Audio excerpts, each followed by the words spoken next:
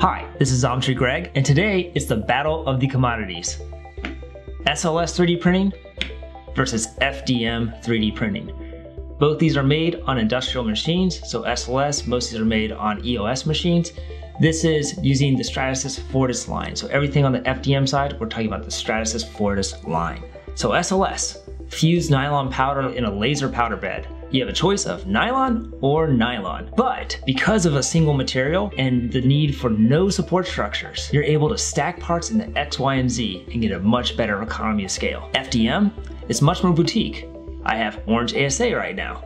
If I want yellow ASA, I need to run a separate build for that.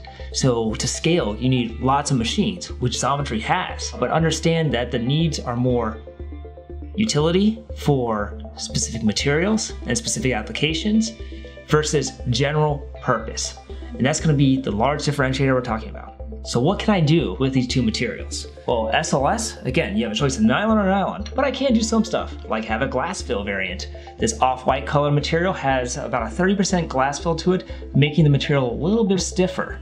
We can also dye SLS. Most common is going to be dyed black. We also have the ability to dye vibrant colors like red, blues, or, or green in this example here. FDM, I have different colors by putting a different feedstock into the printer. So orange ASA, ASA actually has 10 different colors. ABS has about six different colors. We also have some slightly translucent variants, and I'm going orange on an orange here, but this is good for, think like tail light orange.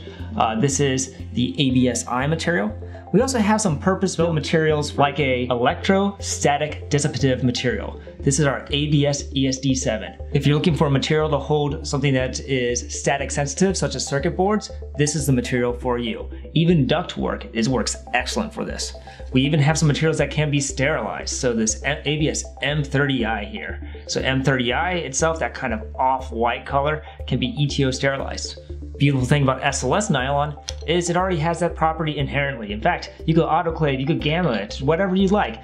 Take care of it that way. Just understand that this material does have some absorbency to it, so it's usually good for one-off materials in a medical device field. FDM, you need to treat the surface if you're looking for multi-use because you do have micro crevices from that layer by layer extruded filament that's making the parts themselves. Cost-wise, FDM tends to be slightly more expensive than SLS overall. But like I said, you have that variety to choose from. SLS, we look at it as a general purpose commodity. I call it the 85% tool. A lot of times it takes you 85% to where you need. Similar along those lines, by the way, honorable mention is HP Multijet Fusion. You can take a look at one of our other videos to see the difference between SLS and HP Multijet. So what else would you like to learn about with our X tiles? We have lots of materials here at Xometry. We're happy to go one-on-one -on -one with these. This is Xometry Greg. Thank you so much.